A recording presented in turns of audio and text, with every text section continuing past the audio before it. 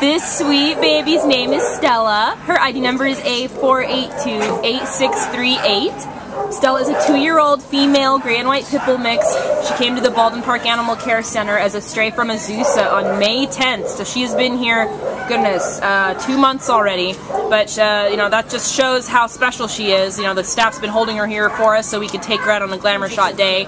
Um, she weighs about 50 pounds, and she is just a 50 pounds of wonderful affection and love. We've been having a blast having her out here today. Um, she's really intelligent. She already knows how to sit on command.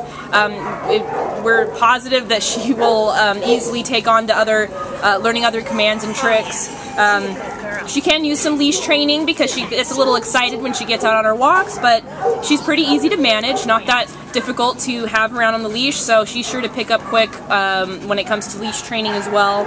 She's definitely a people pleaser. She's very people oriented. She's been going up to every person she meets and putting her head on their lap or on their knee, wanting attention, including me, She would prefer to do that than have a video today. Um, she also likes to play fetch when she had her um, uh, her temperament test for the shelter. She loved playing fetch with a ball. Um, she got a great score on her test, by the way, 24 out of 25. It's excellent.